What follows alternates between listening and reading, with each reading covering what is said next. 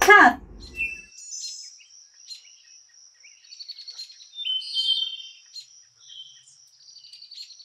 Hi guys! Good morning! Welcome back to our YouTube channel, Rangel Channel Vlog. And ngayon, naisipan nating magluto ng tuna dahil hindi tayo nakapag-grocery. Mag-isip tayo kung anong magandang gawin sa tuna in can. So, naisipan natin gumawa ng tuna spring roll. So, kayo may tuna ba kayo dyan? E, level up natin yan. Gawin nating tuna spring rolls. At meron akong, siyempre, kailangan natin ng tuna.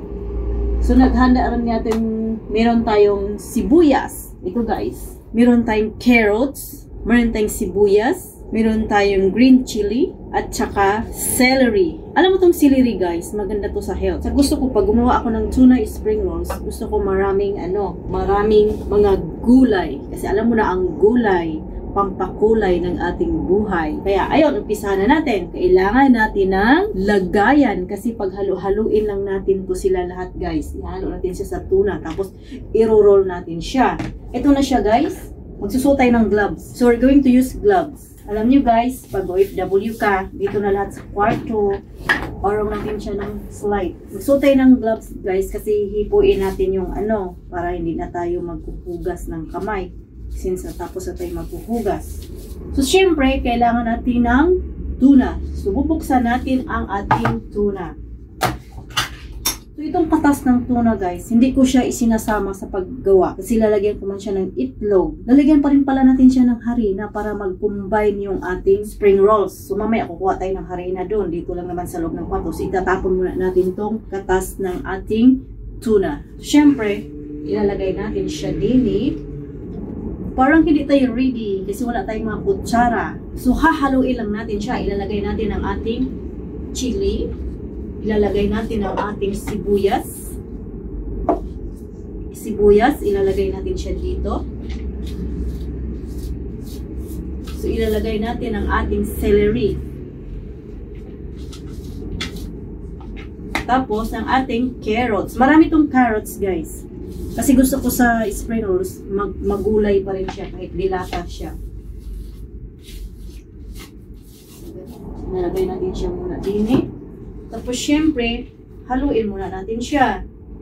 Ganun lang siya guys, halo-halo lang siya. Halo, halo, halo. Siguro imamaya pag i-roll ko siya, ilalapit ko konti yung camera. Ay, parang kulang ang tuna. Parang puro na siya gulay. Siyempre, bibiyakin natin ang etlog. Guys, kulang yung tuna ko. Siguro, gawin kong dalawang piraso yung tuna kasi parang mas marami yung gulay kisa tuna. So, magkalayo ang kapitbahay. So, dagdagan natin ng isang tuna in can. Ito na siya. Magbubukas ulit natin. Dadagdagan natin ng isa ha. So, ihalo-halo na natin siya. Ganon. Tingnan nyo guys. Hinalo-halo ko lang siya lahat. I-mix mo lang siya. Malinis ng tissue na to. Punas natin sa kamay.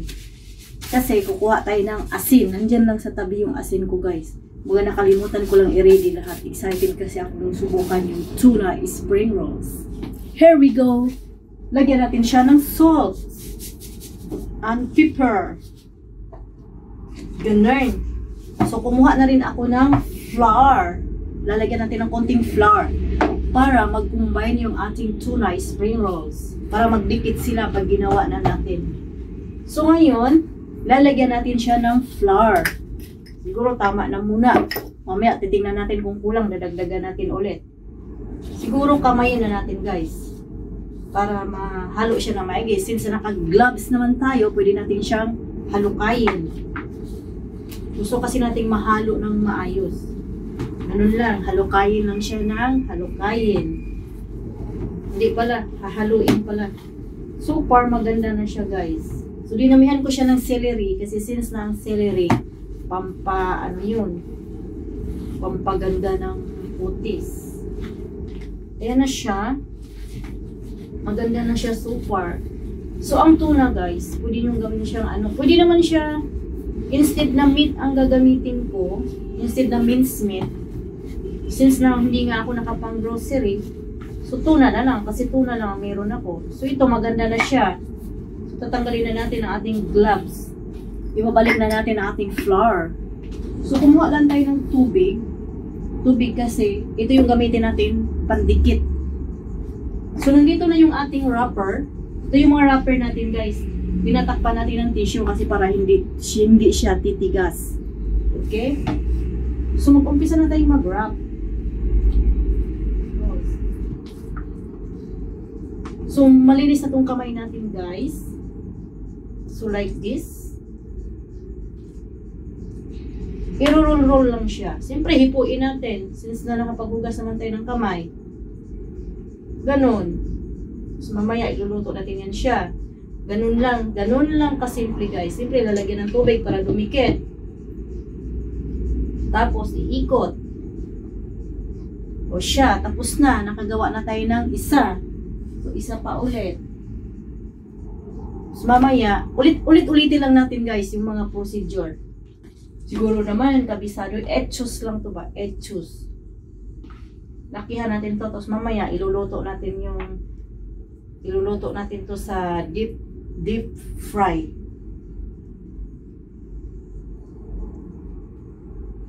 Ganun lang. Kailangan talagang isaw-saw ang kamay guys para ano. O di ba? Ganon. See? So ulit-ulitin lang natin siya hanggang sa tayo'y matapos gumawa ng ating tuna spring rolls.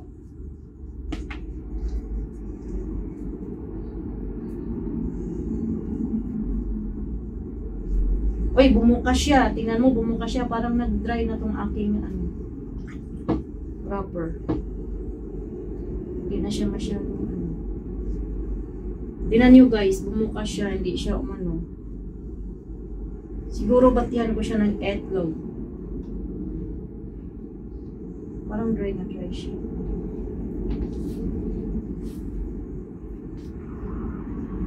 Ganun lang siya guys.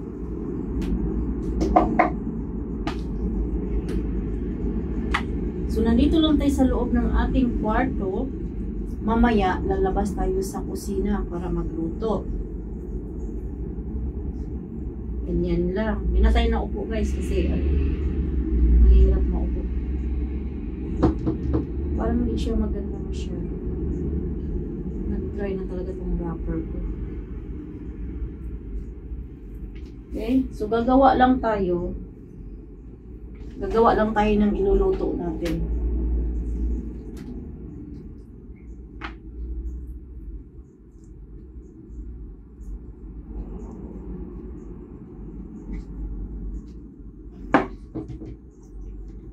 Ganun lang siya, guys.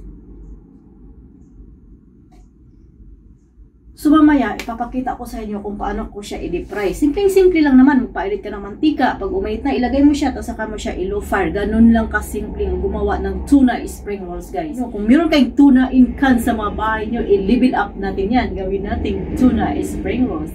So, hindi ko na siya masyadong hahabaan, guys. Kasi, alam ko, basic na basic naman tong paggawa ng tuna spring rolls. So, ipakita ko lang sa inyo mamaya yung mga finished product at paano ko siya i-deep fry. Ganun lang, ganun lang siya kasimple.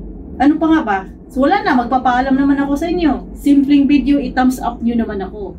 Kung hindi ko pa kay subscriber, i-subscribe nyo na ako para sabay tayong matutong magluto at umasin. So, i-click mo na rin yung bell icon para ma-notify kayo. Thank you for watching guys. I will see you in my next video. Bye-bye!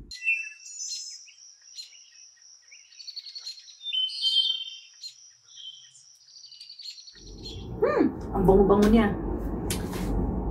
Papaalam na talaga ako. Bye-bye! Bye!